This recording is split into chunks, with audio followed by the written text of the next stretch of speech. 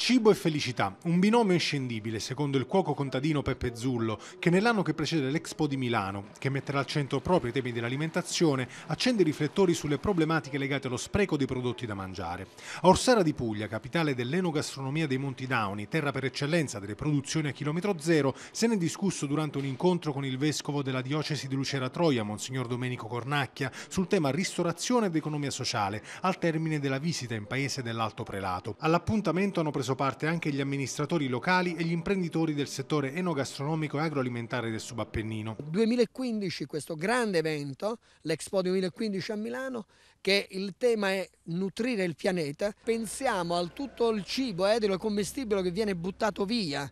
e ne facciamo spazzatura, che è la cosa più triste, cioè praticamente creiamo un doppio danno. La Chiesa di Papa Francesco, ha detto Monsignor Cornacchia, dimostra di comprendere molto bene quanto i temi del cibo, della nutrizione e del ritorno all'agricoltura siano importanti per rilanciare un'economia più giusta che porti il benessere in tutta la società. Oggi purtroppo ci sono tanti che potrebbero vivere, non sopravvivere, con, con ciò che mm, viene buttato dalle, dalle mense di noi paesi occidentali ed europei. Basterebbe un pizzico di fantasia, un po' più di volontà per eh, suddividere con tanti popoli più bisognosi di noi ecco, ciò che mm, è necessario per, per vivere